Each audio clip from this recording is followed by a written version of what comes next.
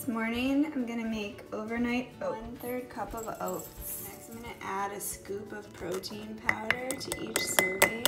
Flax meal, and a teaspoon of ashwagandha powder, maca powder, and chia seeds.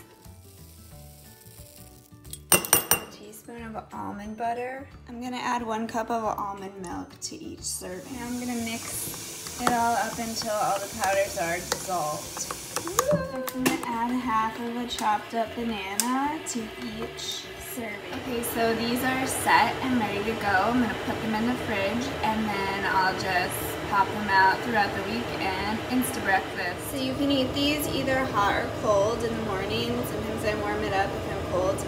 And then I like to top it with pumpkin seeds, goji berries, and then you can add cinnamon or whatever you want.